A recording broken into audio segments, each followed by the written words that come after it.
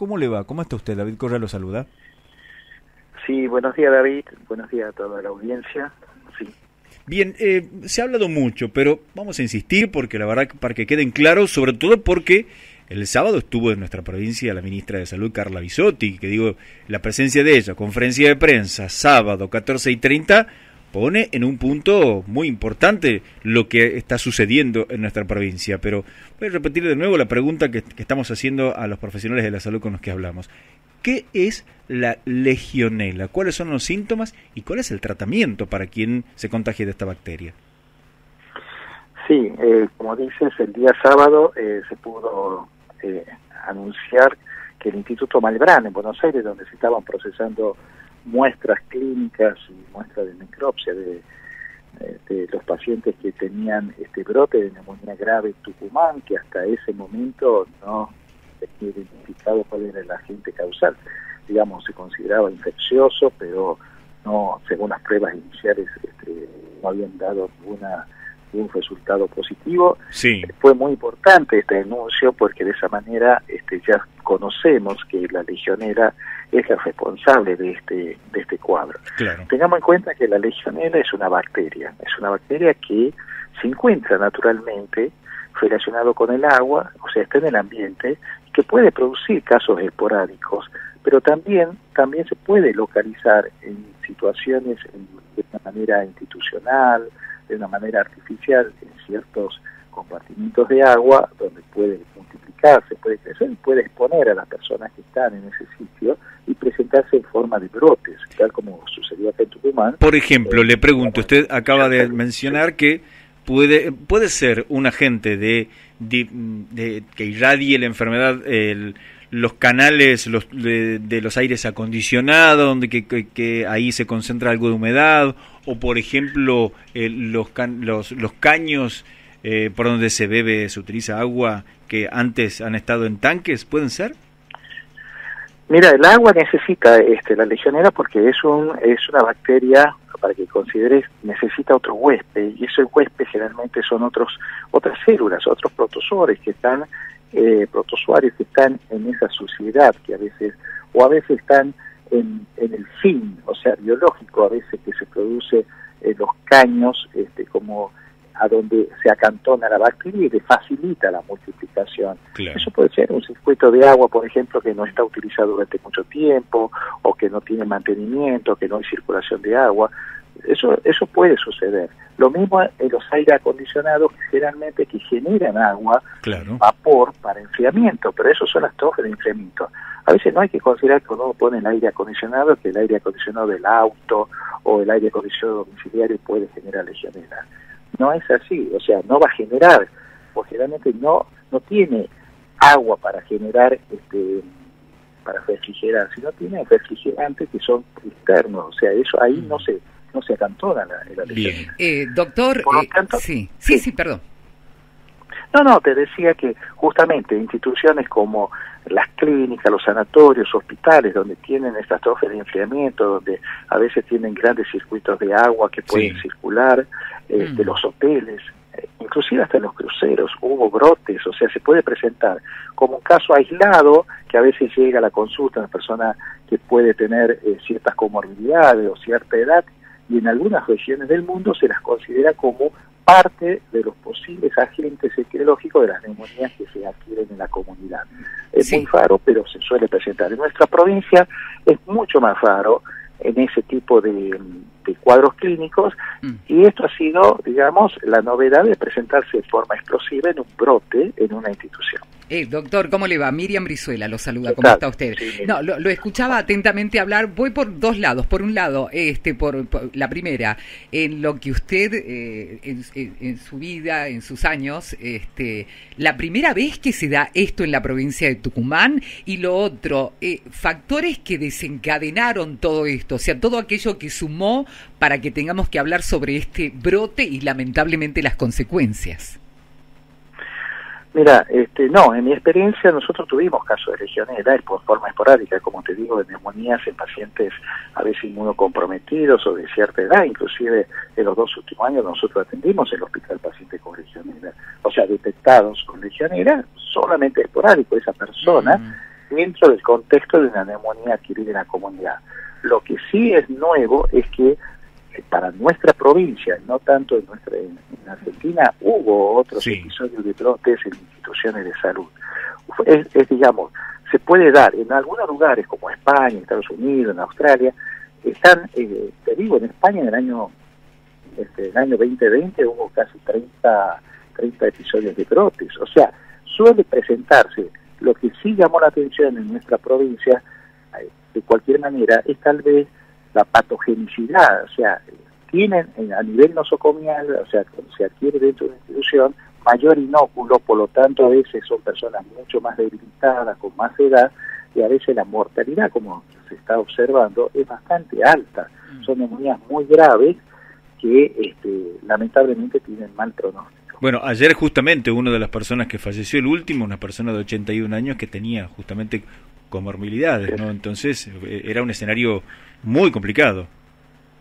Tengamos en cuenta que neumonía, cuando lo consideramos como una infección pulmonar grave, que se suele presentar por justamente mayores de 60, 65 es muy grave, tiene una mortalidad en Argentina muy alta, del 30%, o sea, muchas personas en Argentina mueren de neumonía.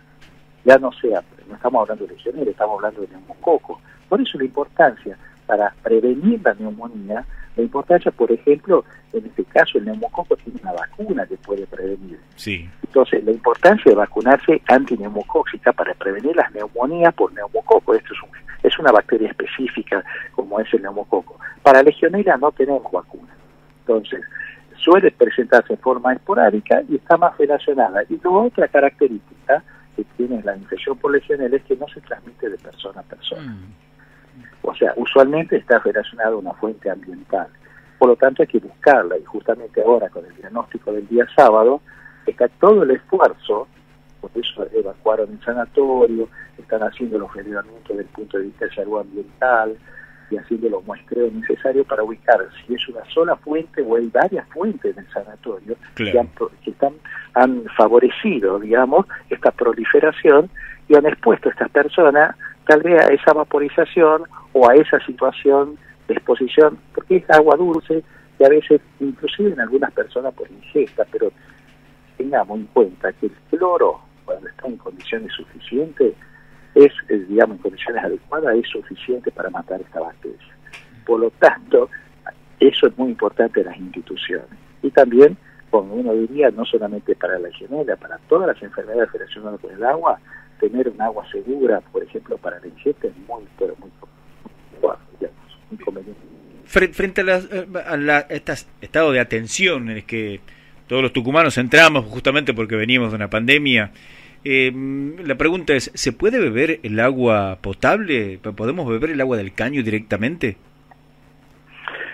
El agua potable es justamente potable porque está, el, eh, digamos, tiene el cloro suficiente para que otras bacterias, una por ejemplo, que es la que produce episodios de gastroenteritis o diarrea como la Escherichia coli, no tengamos en el agua y sea agua de beber. O sea, eso depende de la calidad del agua. Es muy importante y también en las instituciones lo que se llama la gestión del agua, de tener el mantenimiento adecuado, correcto, incluso en nuestros domicilios, de que el agua sea segura, y no tener famales muertos, tener, eh, sobre todo después de viajes, o después de un periodo de tiempo hacer coger el agua, todo eso facilita, pero tengamos en cuenta que la legionela no le va a dar por ingesta, salvo en situaciones muy especiales de personas inmunocomprometidas, nada. Generalmente es por inhalación de vapores y a veces se puede dar, por ejemplo, en un hidromasaje, ¿me entiendes?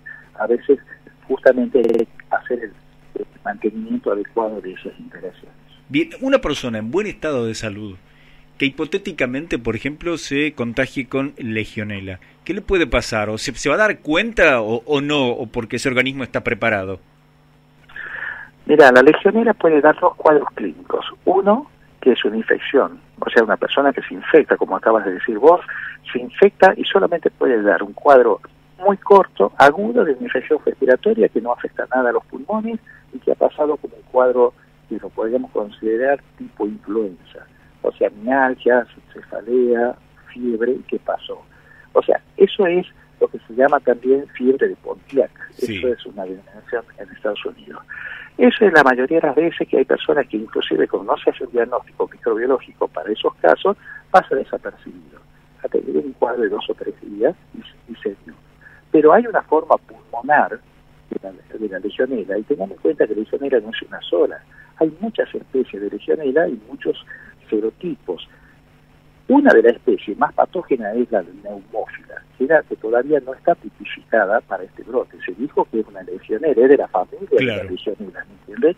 Falta la tipificación de ponerle, como se dice, el apellido y después saber si de qué familia es, o sea, de qué, específicamente qué grupo.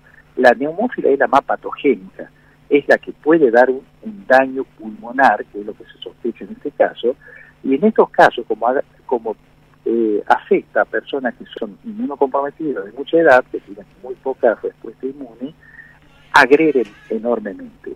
Claro. Y ahí es donde produce el daño de la neumonía. Y el pronóstico ya no solamente depende de la bacteria, sino de las condiciones del huésped. Si el huésped tiene mucha edad o tiene eh, comorbilidades o el inóculo, o sea, la cantidad de bacterias que se han inhalado es muchísima porque la fuente es bastante bastante está generando mucho de, de este vapor, esto puede producir este, una gravedad que, que tenemos en cuenta, una mortalidad de casi el 50%.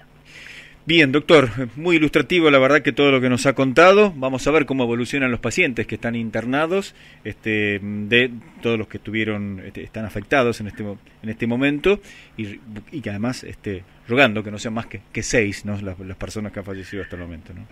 Lo que sí todavía, durante todo ese periodo, desde el momento de que se evacúa el sanatorio y todas las personas que al no ser identificada la fuente todavía tienen que estar bajo vigilancia, todas las personas que han estado en contacto, ya sea trabajaron en esa institución, estuvieron internadas o inclusive estuvieron de visitantes en esa institución. Estas personas durante por lo menos hasta dos semanas, algunos hablan de seis días, de la última momento de exposición tiene que estar bajo vigilancia, digamos, clínica de cualquier sintomatología para poder consultar y ser un caso sospechoso. Luego, la evolución natural de los casos internados con los antibióticos adecuados y con el manejo adecuado, de, digamos, del sostén que necesitan estas personas. Y bueno, todos esperamos que puedan resolver esta situación. Usualmente la legionela, cuando se recupera, no suele dejar secuelas. Bien, doctor. Muchísimas gracias por este tiempo para el EB12. Gracias a ustedes. ¿eh? Hasta otro momento. Hasta luego, que tenga buen día. Estuvimos delegando con el doctor Gustavo Costilla Campero, infectólogo y jefe del Servicio de Infectología del Hospital Padilla.